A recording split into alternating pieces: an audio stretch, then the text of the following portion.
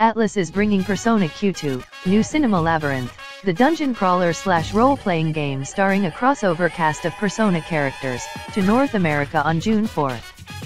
The Nintendo 3DS game was originally released in Japan in November 2018. The game will feature characters from Persona 3, Persona 3 Portable, Persona 4, and Persona 5 on an all-new adventure.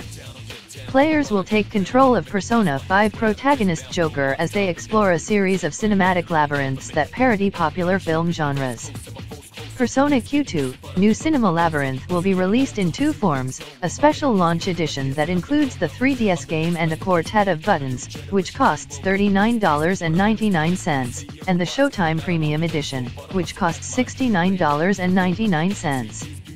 Here's what the deluxe version of the game includes, a Koromaru plush, art book, deck of playing cards, set of four buttons, and a collectible outer box.